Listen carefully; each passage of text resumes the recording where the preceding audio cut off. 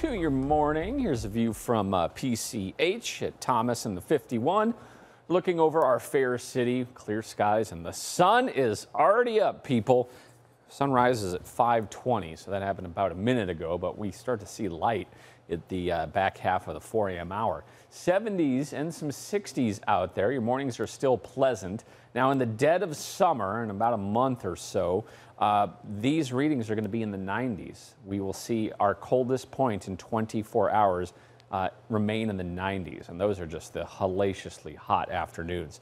40s in Flagstaff, 50s in Payson and Prescott. How about 75 in Gila Bend and 70 in Casa Grande this morning? Our first alert radar is clear. No issues out there. No rain, no snow. Well, definitely not no snow. Uh, and uh, not seeing any problems. So if you're heading to work, no problems out there via the weather. Try to get your stuff done early. We're going to have another day in the hundreds. That includes uh, maybe your hikes and uh, any gardening or outdoor activities, and especially getting those dogs walked early. Remember, the trails are closed in Phoenix to animals at 100 degrees or higher. So can't take your dogs on Phoenix trails 100 or higher. Probably shouldn't be doing that anywhere.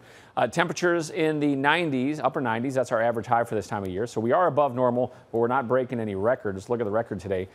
112 degrees back in 2020, which is a tough year for the heat. Dew points are in the teens and 20s. Very dry atmosphere out there. We are not looking for any rain. we got this weak system right here. You see this little line, little jet in the, uh, dip in the jet stream. That's going to keep temperatures like down a degree or two. So we were at 106 yesterday. We're going to stay at about 103 today because of the system. It moves out of the area quickly, and then we are going to get back into that 105, 106 territory.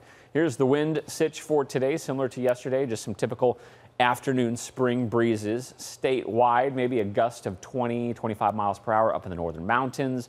And for uh, Thursday, not as much wind, but some breezes here and there. What about the Simmons fire? Well, temperatures will be in the upper 90s for today.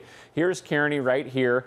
Here is where the fire is located, right on the river there, a little bit to the north and the west. Wind speeds will be okay for, uh, west at 5 to 10 miles per hour, maybe a 15 mile per hour gust.